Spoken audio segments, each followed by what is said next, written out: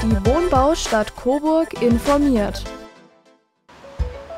Eigentlich ist Petra nur in die Stadt gefahren, um bei ihren Freunden die Blumen zu gießen. Sie konnte ja nicht ahnen, dass sie beim Einfahren in die Tiefgarage am Albertsplatz gleich einen 200 Euro Parkticket-Gutschein gewinnt, der auch noch für alle Parkhäuser in der Stadt gilt.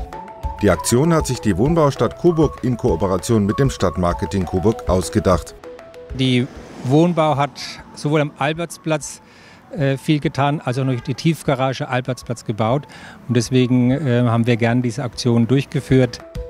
Montag, der 26. August. Die Prinz Albert-Kenner wissen, da hat der Mann von Queen Victoria Geburtstag.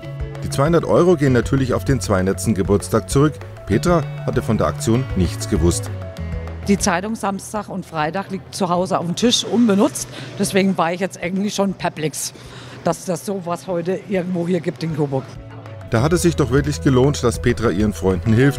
Jetzt kann sie, so oft sie will, in den Parkhäusern in der Stadt parken und muss sich keine Gedanken über das Geld machen. Zumindest nicht, bis die 200 Euro aufgebraucht sind. Die Wohnbaustadt Coburg informiert.